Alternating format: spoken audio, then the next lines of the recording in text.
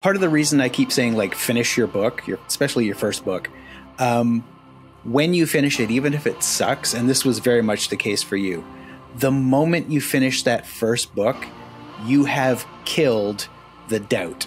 You have that part of your mind that is like, can I finish a book? Because that, for me, that stopped me for a long time because I, I didn't think I could. And I wondered. But the second you finish that first book, no matter how bad it is, you now know you can finish a book. And it that doubt is gone.